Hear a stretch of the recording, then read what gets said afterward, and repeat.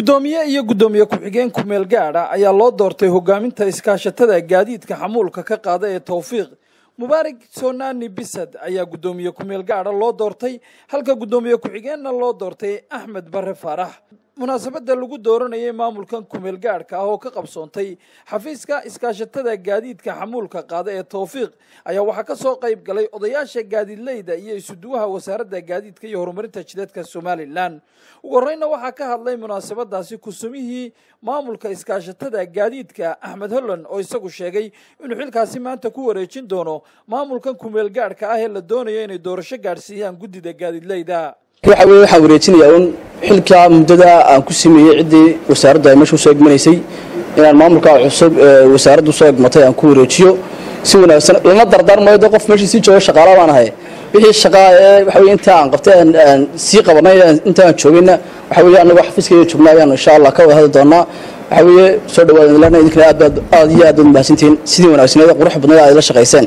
Muddadii aan xilka ku sii sameeyey guddoomiyaha kumeel gaadhka ah ee guddida gaadiidleyda towfiiq mubaarak sonaani bisad iyo ku-xigeenkiisa axmed bare faarax oo iyaguna munaasabadaasi ka hadlay ayaa ballan qaaday inay si howlkarnimo ah u hogaamin doonaan iskaashatada gaadiidka ee towfiiq muddada ay xilka hayaan.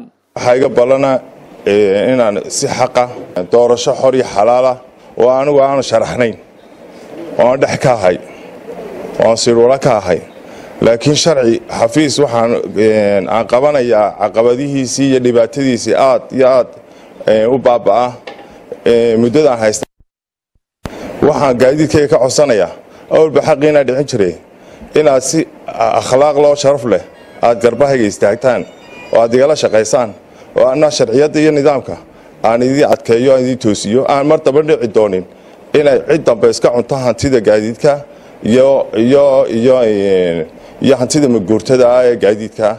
Haddee dhulkii hore berigii hore la siin jiray aan dhici doonin loo samayn doono files badan oo documentary ah. Haddii a la idhaahdo markaa waxaan ku koobayaa aad baa u mahadsantihiin wasaaradda gaadiidka iyo horumarinta jidadkana. Sidii ay noogu ballan qaaday tiri idinka iska soo doorta. Cid idii hogaamisa doorasho idii gaadhsiisa aan ku imi rabitaankiina. Annaguna waxaa waajibkana saaran uu yahay in aannu gaadiidka sharcigiisii baaba'ay aanu toosinno xafiiskii si wacan u dhisno doorashada aanu daadihinno waxaa iyaguna ballan qaaday inay la shaqayn doonaan maamulka cusub ee kumeel gaadhka ah odayaasha iyo guddida gaadiidleyda towfiiq horta aan ku faraxsanahay in maanta wasaaraddii gaadiidku ay xafiiskii dib inoogu soo celisay taladii faraha inoo soo gelisay oo reer gaadiid wade qacantoodii ay ku soo celisay taladoodiina ka tashadaysay waxaan aad iyo aad boqolkiiba boqol ugu mahad celinaya agaasimaha guud ee wasaaradda gaadiidka iyo jidadka wasiirka iyo xubnaha kaleba ka wakiilka ah. Maanta haddii alla idma inuu haddii baydankeeda leeyi xafiiskayagii muddada inuu cagaha isugu taagu nagu wareejinayo waxay dowladdan hambalyeennaa dowladdan soo dhaweynaa cid kasta oo gacan ka geysatay waan soo dhaweynaa waxa weeye dowladdan hambalya inta halkaana danta iskugu keentayna waxaa weeye inaynu wax hagaajisanno ruud iskaashato ay isku maamusho oo dariiqa aynu wada marno.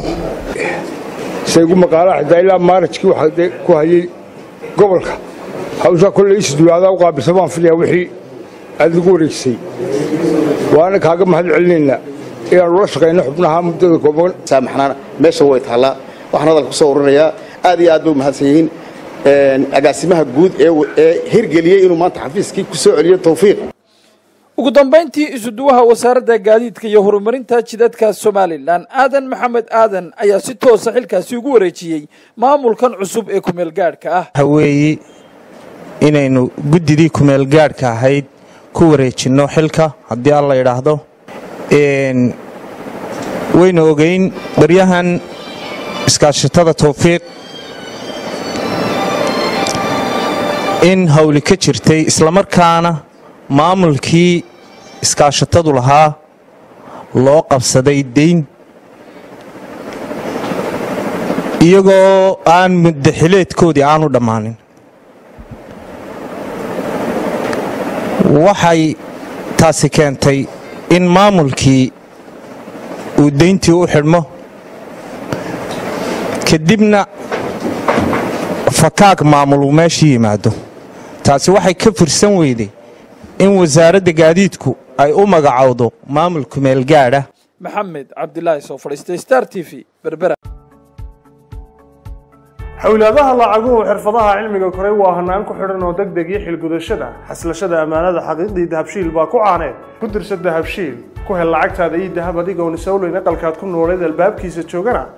Aayar fariinta lacagtaada ka eego mobailkaaga somtel.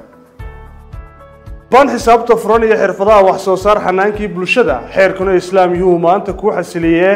Dhiga lacagtaada dahabshiil bank international ka furo dahabshiil bank international akoonnada kale ah caran account saving account iyo investment account.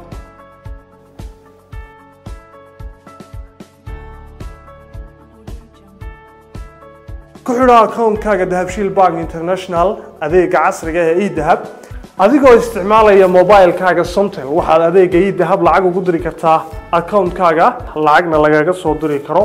Si toosana ugala socon kartid dhaqdhaqaaqa akoonkaaga dahabshiil bank international. Ku isticmaal mobilkaaga somtel adeega casriga ah ee 4g oo xawaarihiisu aada u sarreeya kuna isticmaal meel kasta iyo mar kasta. Video call 4g ku isticmaal simikaadhkaaga somtel adeega casriga ah ee ila soo hadalo waddamada adduunka qaraabadaada iyo asxaabtaadu ay kugula soo hadli karaan cod saafi ah iyo weliba qiimo aada u jaban. Ku xidhnow shirkadaha xulkoodii dahabshiil group wixii aad lacag dhiganayso iyo wixii aad lacag diraysaba ballanteennu waa dahabshiil dahabshiil group